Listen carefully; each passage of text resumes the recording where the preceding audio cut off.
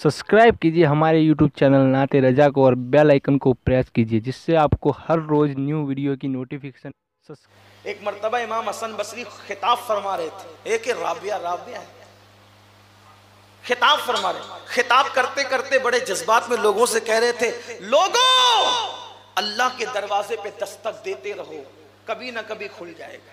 अल्लाह के दरवाजे पे दस्तक देते रहो। कभी ना कभी उसके दरवाजे को खटखटाते रहो। कभी पर्दे के पीछे से आवाज़ आई, हसन, ये भी तो बता दो कि उसने दरवाजे बंद कब किए? दरवाजे तो खटखटाए, उसके जाते हैं जो बंद रहते हैं।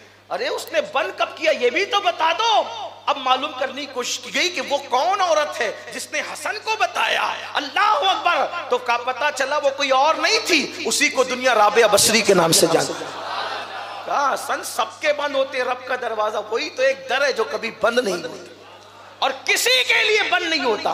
खुदा का दर वो दर है। अगर काफिर भी उसके दर पर आ जाए तो अल्लाह काफिर के लिए भी दर बंद नहीं लोग, हम लोगों कहते हैं लोगों दुआ करो तो लोग कह रहे हज़रत, आप लोग मौलाना लोग हैं, सैयद लोग हैं, पीर लोग हैं, ये, आप लोग दुआ करो, हम गुनेगार कब पागल हुए हो? क्या बकते हो मायूसी की बात? आओ, मैं मेरा अल्लाह देता किस किस को है? दुनिया में सबसे बुरा कौन है? आपकी आपकी तहकीक में बड़े बड़े मौके यहाँ बैठे कौन है सबसे बुरा? कुछ पता है? दुनिया में सबसे बुरा कौन है? मालूम? जानते हो कौन है? बोलो भाई। अरे जानते हो तो बोलो नहीं जानते हो तो जल्दी बात आगे बढ़ा के खत्म कर दे। नहीं जानते? शैतान है, है? बोलो भाई शैतान से बुरा भी कोई है? यजीद को किसने यजीदियत की तरफ़ ले गया? बोलो बोलो भाई, अगर समझ लो तो बोलो, हैं? फिरौन को फिरौनकियत की तरफ़ कौन ले गया? हैं? नमरूद को नमरूदियत की तरफ़ कौन ले गया? है ये? यानी पहले दिन से गुना कर रहा है और आखिरी दिन तक। सही है? यही है ना? उससे बुरा कोई है? सारी बुराइयों की जड़ कौन? अल्लाह ताला ने उसको जिस दिन शैतान बनाया, निकल। निकल इन रजीम। तू धुतकारा हुआ है। उसने कहा, जाता हूँ, लेकिन कुछ देना मुझे। का क्या माँगता है बोल? का आखिरी दिन तक ज़िंदगी दे। आखिरी दिन तक मुझे ज़िंदगी चाहिए और यह भी इख्तियार दे, जिसको जिधर चाहूँ गुमराह करूँ, बहकाऊं, दे मुझे। अल्लाह ने कहा, दिया। अल्लाह ने कहा, नादान हो, अल्लाह शैतान जैसे को ना नहीं कहता। है? वो शैतान को अता कर रहा है, आपको नहीं देगा, हमें नहीं देगा।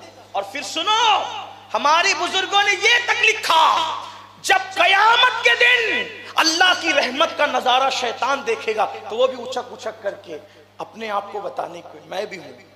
अल्लाह पाक जब सब जन्नतियों को जन्नत में डाल देगा सब जहन्नमियों को, सारे काफिर जहन्नम में, मोमिन जन्नत में, यहाँ तक के, कि सब कलमा पढ़ने वाले मुसलमान जो ईमान पर गए, सब बख्शे जाएँगे।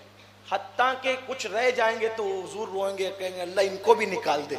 अल्लाह इनको। तो अल्लाह फरमाएगा, महबूब, ये तेरे उम्मती है तो मेरे भी तो कुछ है ना? क्या प्यार करते देखिए, महबूब, ये मेरे भी तो कुछ है ना? सबको निकाल देगा। जब सबका मामला तय हो जाएगा तो शैतान कहेगा, मेरा भी कुछ कर। देखो, मेरा अल्लाह कैसा है। यानी आखिरी, पहले दिन से लेके आखिरी दिन तक के सब गड़बड़ किसने की? शैतान ने। और आखिरी में क्या कहे? मेरा भी कुछ कर। अल्लाह फरमाएगा, क्या चाहता है बोल? वो कहेगा, मुझे बख्श दे। अल्लाह फरमाएगा, ठीक है, बख्श दूँगा तुझे भी। है कोई ऐसा? क्या कहेगा?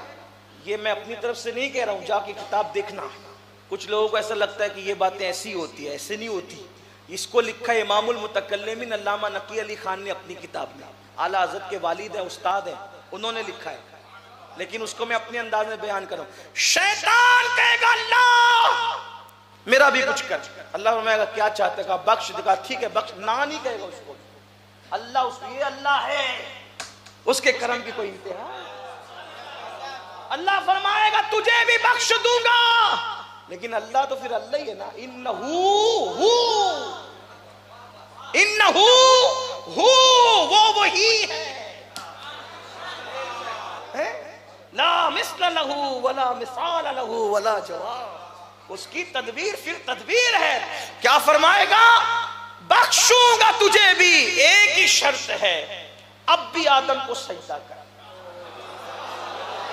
तेरी भी बख्शिश है। ना नहीं कहेगा, देखो, ना उसको भी नहीं है। अरे, जब उसका महबूब किसी को ना नहीं कहता, जब महबूब की जबान से ना नहीं है तो महबूब को बनाने वाला किसी को ना कैसे कहेगा नहीं, सुनता ही नहीं। मांगने वाला तेरा। मुसलमानों, जो खुदा शैतान को ना कहे, उससे मायूस क्यों हो? अपने मसाइल उसकी बारगाह में रखो। अपने मामलात उसकी बारगाह में रखो। अपना रिश्ता उससे मज़बूत करो। गिड़गिड़ाना सीखो। आओ, बुका करना सीखो। आजिजी करना सीखो। जो मांगोगे मांगने से मिलेगा। शर्त एक है कि उसके को वसीला बना करके जाओ। अल्लाह तसव्वुर से बढ़ करके अता करेगा आओ, उससे तिजारत करें। क्या अल्लाह की शान? भूल गए अल्लाह को। भूल गए इसमें, उसमें अटक गए अल्लाह आओ, अल्लाह से मांग। अल्लाह फरमाएगा, ठीक है, तुझे बख्शूँगा। एक शर्त आदम को सजदा कर। उसकी मस्ती भी नहीं जाती। वो कहेगा, पहले नहीं किया तो अब कैसे करूँगा? फिर ठीक है, तुम जाओ अपने ठिकाने पे। और उसको उसके टिका यानी उसी की मस्ती उसी को ले डूबेगी। अल्लाह रब्बुल इज़्ज़त के दामन करम पर कोई ऐप का धब्बा भी नहीं लगा सकेगा। और